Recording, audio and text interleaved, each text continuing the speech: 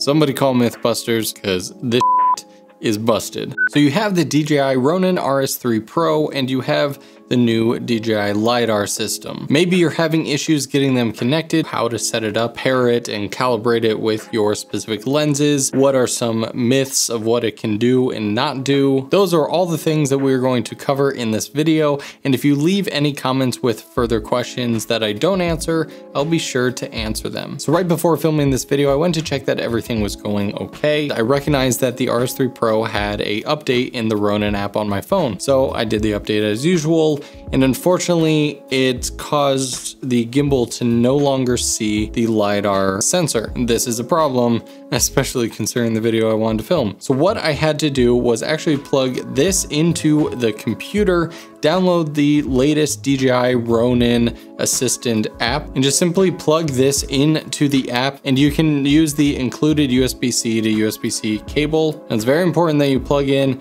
to the USB-C with the USB icon on top, or else it's just not gonna show up to the computer. But once you plug it in, give it a solid like 30 seconds, maybe even it was like a minute. It took a while for it to show up in the Ronin Assistant app, but then it showed up, did the update, plugged it back in, and it worked. Now mounting this to the gimbal. If you saw my previous videos on the RS3 Pro, I talked about how I found the perfect mounting spot, which unfortunately not every camera is gonna give you this mounting spot. Most of the time you will see this on top of the camera, which you can't even see in frame right now, uh, because it has a hot shoe mount on the bottom. However, the Pocket 6K Pro is quite tall, and so there was a lot of dead space here, and so I mounted a hot shoe receiver right on the front of the plate, and now when I put this there, you can see that is just below the lens, about an inch, and basically right on par with the front lens element. Now some people commented that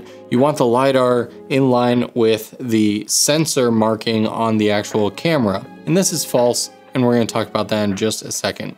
But you do wanna mount it where it is as close to the lens in terms of height as possible. If I put my hand right here, the lens is going to see it, but the autofocus of the LiDAR is gonna shoot right underneath. So when things are far away, the wide angle of the LiDAR camera pretty much sees everything, you don't have any issues. But when you get close, if something's right here, both the LiDAR camera and my lens will see it. So compositionally, it's going to work out and you're still gonna get autofocus pretty decently. All right, so for the hookup, I'm guessing you already have your wireless follow focus uh, plugged in. You're gonna wanna make sure that of the three available ports on the gimbal, the bottom one is free to use with the LiDAR. And so have your follow focus plugged into the middle one, LiDAR goes into the bottom, and then you put it into the opposite port that you did the firmware update. All right, so now that's plugged in, we're simply gonna turn on the gimbal. Obviously, do your balancing and traditional gimbal stuff. Okay, so now that we have the gimbal on, we need to get to the LiDAR menu, which is real simple. When you're on the main screen, you're just going to swipe the left and then you're gonna automatically see what the LiDAR sees. Remember, this is not interfacing with your camera whatsoever. And you get a couple pieces of information. You get basically a rectangular box. This is where it's actually looking to focus by default. You have a couple different modes in the bottom left-hand corner. You have flex spot, which allows you to actually drag a little box anywhere on the screen and this is where you will basically change the focus point and you can go back to wide. In the bottom right, here's where our settings are and this is where we'll wanna set things up. Now on the LiDAR, you have a couple buttons here on the side. You have a function button and a AF MF button. And then on the back, you have three different lights, C1, 2, and 3. You can essentially set up three different lens profiles. Now currently, I'm testing the brand new DZO Film 35mm Vespid Cyber.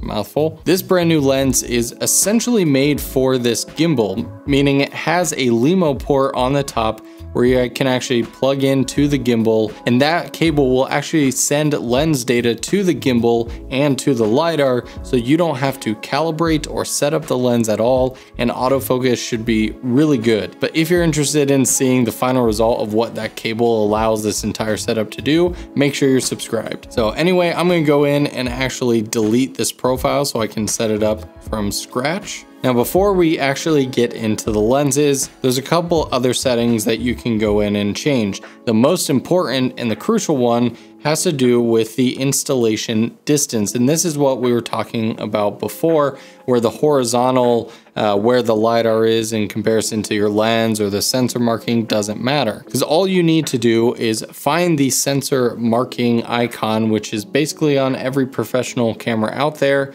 And you're going to measure from that to the very front of the LiDAR sensor. And it shows you a little graphic on the screen. You're going to enter that distance, which for me is 75 millimeters. Just grab good old measuring tape. And thankfully that setting stays in there no matter what you change out with the lenses. Here you can adjust the AF tracking sensibility. It's essentially how sensitive do you want it to autofocus pretty self-explanatory. And as I showed off in my main uh, gimbal video, it does have active track built in, which just turns this entire setup into like pure magic for solo creators.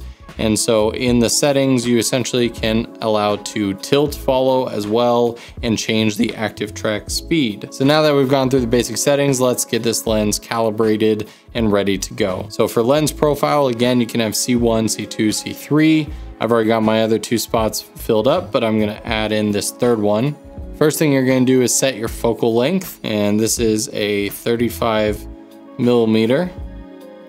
Oop, too much. Boom, 35 mil, go back. We're gonna start a motor calibration, and as you can see, yep, it's going in and basically just calibrating the motors. And so as you can see, it's actually turning the motor and finding the start and stop point. The jitter there is because I, I don't have the rail fully tightened. Need to do that. We get the green check mark on the back of the monitor. I'm gonna hit confirm. And now here is the most important part of the calibration. So the LiDAR sensor knows how far away something is with its camera, but it needs to know where to twist the lens focus pull to to get your camera in focus as well. So what you need to do is find a clear subject. It works best with people but heck, I did it with like my uh, vacuum that's resting up against a all white wall so it stands out. So what you're gonna do once you find your subject is going to get to that one meter mark and then you are going to use the manual focus wheel in the front and get in focus on your camera. You're gonna tap the bottom of the screen to basically lock that in and then it's gonna ask you to step back to four meters on the same subject. So back up, again use the manual focus ring to get that subject in focus at four meters. You're gonna tap the confirm button again, and now your lens is actually calibrated. Okay, so now we can see the green check mark at the bottom of my lens, and we're totally ready to go. And so like I said, if you wanna use the active track, just go to the wide. So you can see the box around my face, which means it's tracking. I'm going to hit the trigger once on the back of the, I just can't see that with this in the way. So the trigger on the front of the gimbal, I'm just gonna press that once and now that box is green. Now you can see the gimbal tracks me. And I don't know if you can see the front, but you can see it pulling focus. I'm so intrigued to get that cable for this lens because if it's able to send that ultra accurate lens data, this will be the most insane combo of single operators and creators out there. A couple more buttons and functionality on the LiDAR sensor itself. Remember, we have a function button and a AF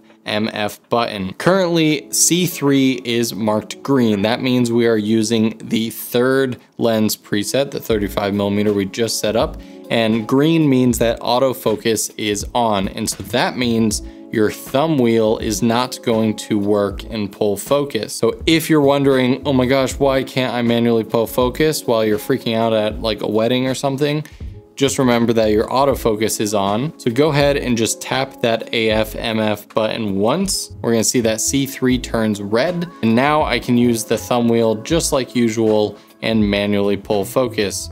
As soon as I press it again, it's going to autofocus and disengage the thumb wheel once again. Now, if I do a lens swap and I wanna change uh, to like my 15 or 45, I'm gonna hit that function button once and basically pressing it once is just going to cycle through uh, the lens preset. So now we're on C1, C2, back to C3. Now, of course, once you do a lens swap, you need to calibrate the lens to the gimbal with the focus motor. You can do it in settings by tapping on the lens profile and hit recalibrate motor. That takes some valuable time. The best way is to just double tap the function button and that is going to recalibrate the motor as well. So now for the biggest myth, question that I got a lot and some people posted an answer, but I don't really believe them to be honest, is can you lose the LiDAR system without the gimbal? And the comment that seemed so confident in his answer, or their answer, I don't know, was yes, you just have to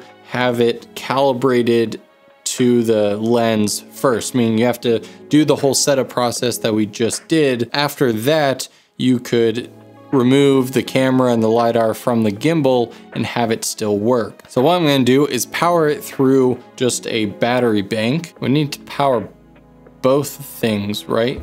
Okay, first, power down the gimbal. I don't know why I freaked out. It folds up each time. Why did I freak out? I need two, this only has one USB port. Okay, we want to supply power to uh, the LiDAR and also to the focus motor, right? The LiDAR and the focus would have to be daisy chain.